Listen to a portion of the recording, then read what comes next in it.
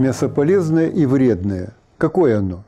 Об этом узнаем здесь и сейчас. Мой собеседник – кандидат технических наук Оксана Савинок. Здравствуйте. Здравствуйте. Что из себя представляет жир, который есть в мясе? Разное мясо содержит разное количество жира. Самое постное мясо – это мясо индейки, кролика и курицы. Конина содержит минимальное количество жира. К жирному мясу относится говядина, если мы говорим, допустим, о говядине взрослого, полученной от взрослых животных, баранина и свинина. Если мы говорим за телятину, то она тоже может быть отнесена к постному мясу. А, жир э, обязательно должен быть в рационе каждого человека. Рекомендуется для нормального здорового человека 2 трети животного жира и 1 треть растительных масел.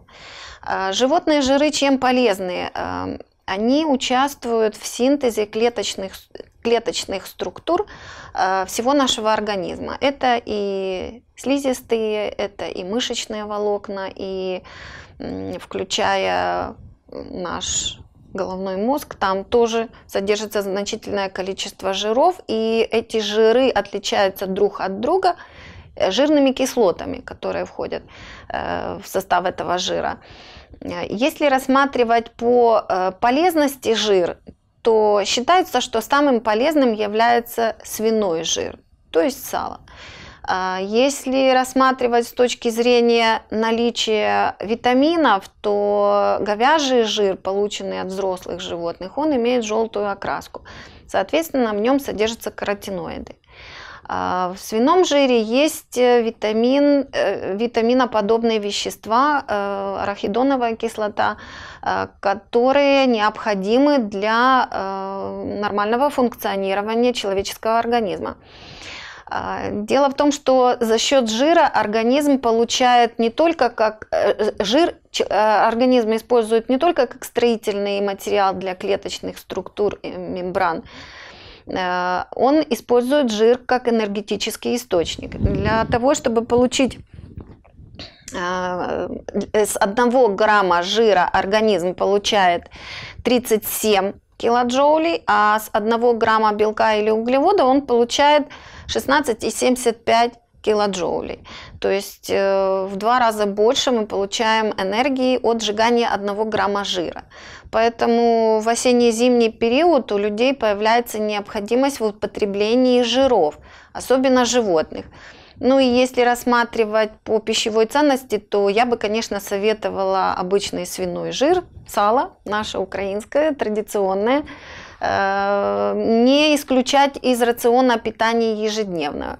А если к этому салу э, добавить э, пряные, пряные овощи, такие как лук и чеснок, то, что традиционно считалось полезным еще нашими предками, то это будет очень полезно для организма человека и в качестве профилактики всевозможных вирусных заболеваний и э, организм обеспечивает себя необходимой энергией для согревания в данные, при низких температурах.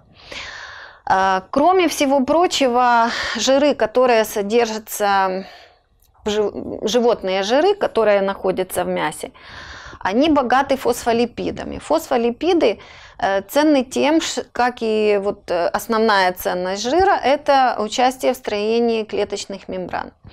А, Еще одним э, важным фактором и важной составляющей жиров является холестерин.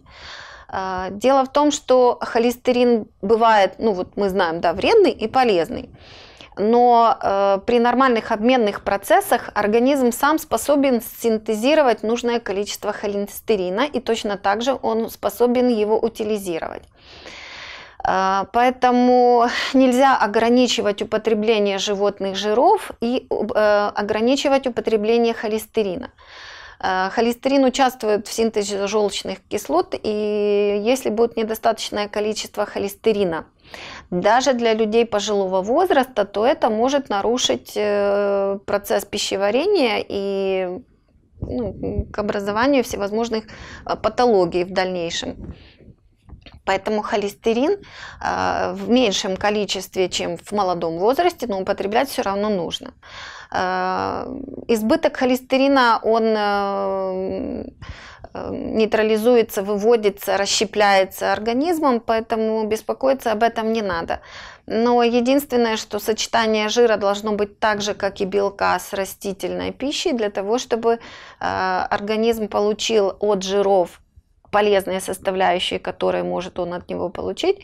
И вдобавок он от растительного, от растительного сырья, от овощей и фруктов должен получить то, что необходимо для нормального функционирования организма в целом.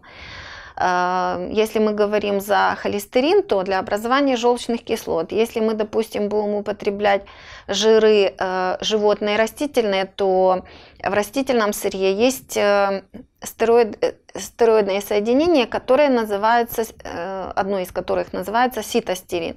Так вот, он уменьшает количество вредного холестерина в организме человека. С другой стороны, если мы рассматриваем по количественному употреблению жиров, то э, пожилым людям, конечно, нужно уменьшить потребление жиров.